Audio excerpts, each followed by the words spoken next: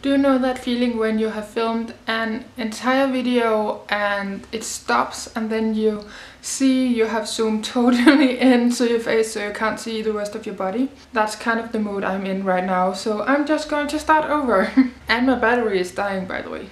Hi guys and welcome back to my channel. Today we're going to do a video on the products I'm not going to be buying anymore. Some of the products I do have in my collection right now, but I'm not going to buy them in the future for my own money. If companies send that type of product to me, I will of course use it, but I'm not going to spend it for my own money. I hope that makes sense. So the first product I'm going to talk about is powder, and especially colored powders. I have owned a few colored powders in my life, but I haven't enjoyed them as much as the transparent or translucent ones. So I just don't see the point in matching your foundation to your skin tone or your concealer and then you have the powder and then it changes the color of your foundation, you know what I mean?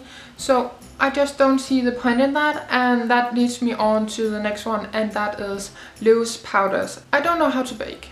So I'm not going to do that. I have a few loose powders that I I have a few loose powders from W7 that uh, I have gotten sent and I will try to bake and stuff like that and use them up and use them and stuff like that. But I'm not going to buy them with my own money because I just prefer a pressed powder that I have more control over. And I have a bit dry under eyes so a loose powder just tend to dry them out more than a compact powder. I don't know what the reason is but that is kind of the situation. And then we come to cream products. I especially don't want to own and buy any more cream bronzers and cream blushes because I just don't remember the step in my routine. In my head I just need to do my primer, foundation and concealer and then I need to set my face. But for a cream bronzer and uh, blush you have to do it like before the powder otherwise it's going to be cakey and stuff like that. So I just tend to forget it, so I just don't see the point in me buying them anymore. And that is the same with liquid blush. I have a few from Benefit and I have tried to pan a few this year and it just didn't go very well because I forgot the step because that is a product I need to do before foundation and again that is not the routine in my head. So I just prefer powders in general. so the only cream product I actually want to have is cream highlighters but if I really want my ideal collection that is no cream products. So yeah. And then we come to lip gloss. I'm not a lip gloss person. I have never been a lip gloss person. Okay maybe when I started to do makeup I was a lip, gloss lip gloss when I started to do makeup, I was a lip gloss person, I will admit that. Then I just got to know myself and my makeup preferences. I just like a liquid lipstick and bullet lipstick so much more. I just don't like the sticky feeling on my lips and that is very very common to people who don't like lip gloss.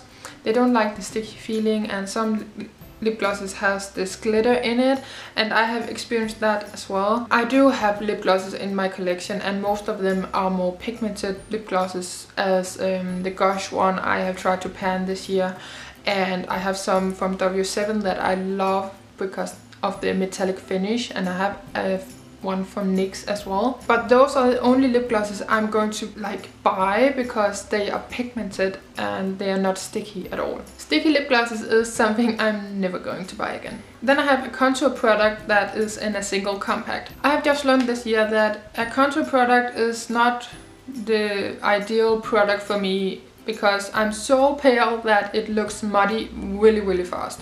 And most contour products is really really dark. Unless I find a contour product that is actually the right shade for me that actually work for me then I'm going to buy it. I rather want them in a palette form like the NYX Pro highlighting contour palette I think it's called because there's everything in one palette. Or the Kat Von D Shade and Light palette. Something like that. I just don't want the single compact form because I tend to forget it and they're usually just too dark for me. So I'm just going to stick with the ones I have and they will last me a decade anyway so I'm not really concerned.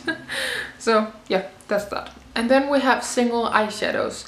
The only eyeshadows I like for a single is the Makeup Geek and um, then I have the MAC one MAC eyeshadow but that is in a compact. I rather want it in a single pan that I could put in a Z palette. So single shadows that is in a compact I just I just don't use them. They sit in my collection in my drawer and I forget them. I'm just a palette girl in general, so I rather want a palette and a Z palette and that's that. Because I just don't use them.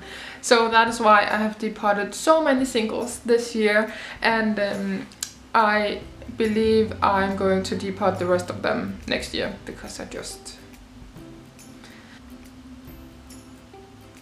Okay, if the camera angle is a bit different and the zoom in and stuff like that that is because my battery died yay so I was talking about eyeliners and I'll just start over because pencil eyeliners is something that I'm not going to buy anymore because I just don't like the sharpening part. It's just so much easier to twist up uh, an eyeliner and I think they don't dry out as fast in a twist up thing and plus in a twist up they usually come with a sponge or something that you can smudge it out and the ones I really really love that is twist up is from Rimmel, uh, Rimmel London and they are waterproof and they actually last in my waterline. A white eyeliner or a nude eyeliner is also something that I'm not going to buy anymore because they just don't last and I love eyeliner but I just don't really use them on my waterline so that is also why I'm not going to buy the white and nude eyeliner anymore. Last but not least that is nail polish. In the future I have an ideal goal with having no nail polish in my collection. I know it's probably not going to happen in the next like five years or so, but I just don't care for my nails as much as others do.